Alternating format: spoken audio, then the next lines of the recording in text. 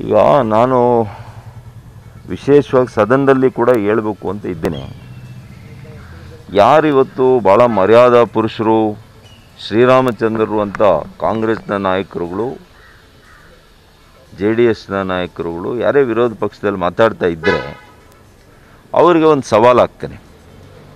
ಅವ್ರಿಗೊಂದು ಸವಾಲು.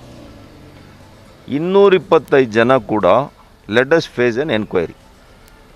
Lettuce face an enquiry ನಿಮ್ಮ ನಿಮ್ಮ ಜೀವನಗಳಲ್ಲಿ ಯಾರು ಅನೈತಿಕ ಸಂಬಂಧ ಇಟ್ಕೊಂಡಿಲ್ಲ ಅಂತ ಯಾರ್ಯಾರ್ದು ಪ್ರೂವ್ ಆಗ್ತದೋ ಆಗಲಿ, ನನ್ನೂ ಸೇರಿ.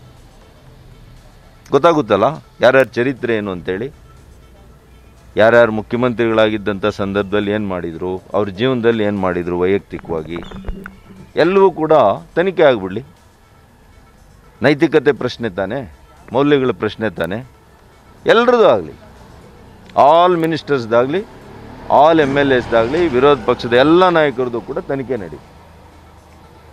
ಯಾರಿಗೆ ಅನೈತಿಕ ಸಂಬಂಧ ಇದೆ ಯಾರಿಗೆ ಎಕ್ಸ್ಟ್ರಾ ಮೆರಿಟಲ್ ಅಫೇರ್ಸ್ ಇದೆ ಇದೆಲ್ಲ ತನಿಖೆ ಆಗಿಬಿಟ್ಟು ಹೊರಹೊಂಬರಲಿ ಇನ್ನೂರ ಇಪ್ಪತ್ತೈದು ಜನದ ಬಗ್ಗೆ ಕೂಡ ಜನರಿಗೆ ತಿಳಿಲಿ ಬಿಡಿ.